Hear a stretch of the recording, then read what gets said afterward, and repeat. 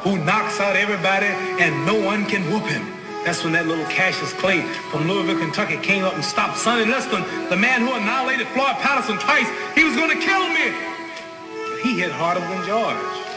His reach was longer than George. He's a better boxer than George. And I'm better now than I was when you saw that 22-year-old undeveloped kid running from Sonny Liston. I'm experienced now, professional. Jaw's been broke, been lost, knocked down a couple times. Bad. Been chopping trees. I done something new for this fight. I done wrestled with an alligator.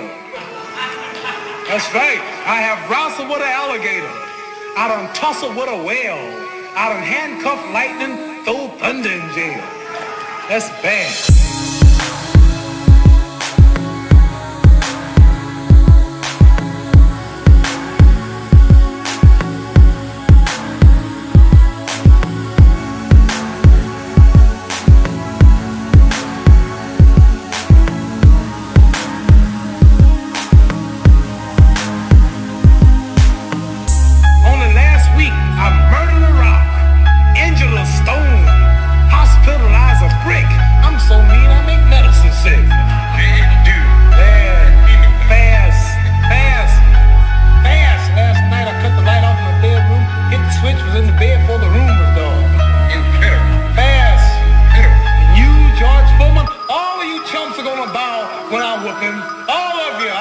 Got him. I know you got him picked. But the man's in trouble. I'm gonna show you how great I am.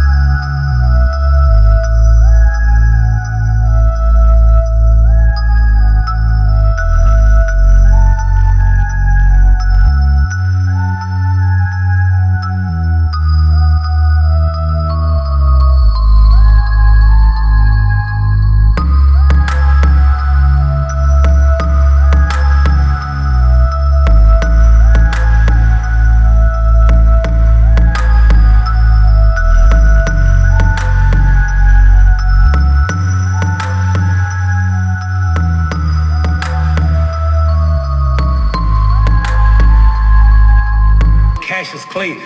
He was gonna kill me.